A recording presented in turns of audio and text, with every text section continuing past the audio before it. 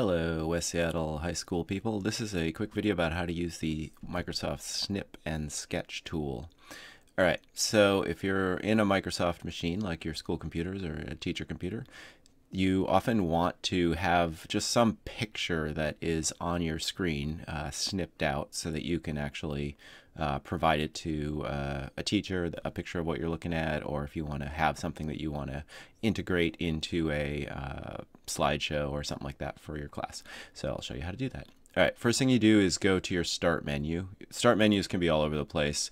Uh, yours might be on the bottom of the screen, or it might be uh, on the top or you know wherever it is you've you've set it but it's basically like this little windowy thing here and it says start when you hover over it it'll bring up all of your programs that you have open and the one that you want here is uh, as you saw I was scrolling down on the list on the left here of all of your uh, programs. Your colors will probably be different because the colors match the uh, background for your computer. But you want this snip and sketch tool. All right. And when you click the snip and sketch tool, it brings it open and uh, it basically says this. Uh, it's like a really simple looking tool. And the button you want to click is the new button here. Let me move that over a tiny bit more, which when you click that will bring up a new snip. All right. And then you can basically capture anything on the screen that you want to capture. In, that, in this case, I'm going to capture this. All right. And now you can see there's the snip of what I took because I'm going to include this bit about uh, the capture of Atlantic cod for the research paper I'm writing on cod fisheries.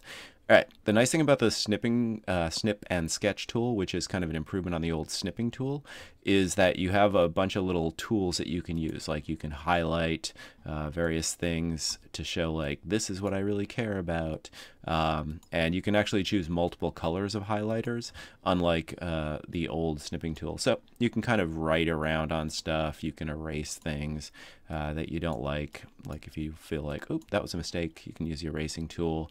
You can also stuff. You got various kind of little elements here. But basically with this, you can copy anything that's sitting on your screen at any given time.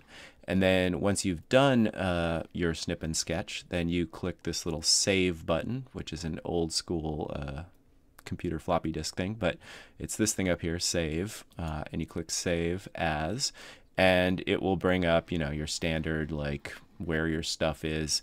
Uh, if you're a student, you're probably going to want to put it in your OneDrive account. Um, and I would give it a better name than this. So like uh, it's going to save and you just want to say cod fisheries.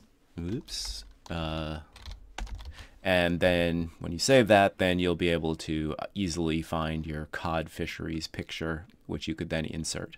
You can also simply copy it up here. So if you just copy it, it'll be copied to your, uh, you know, copy uh, board or whatever to the uh, copy thing. So then you could just copy it into some paper that you were working on if you had a, a Google Doc open or a Word doc open. Uh, so that's how you use the snip and sketch tool. Uh, very straightforward, very handy for grabbing images off of websites or a still from a YouTube video or something like that. If you need something copied that's displayed on your screen, you can use the snip and sketch tool. Hope that was helpful. Thanks. Bye.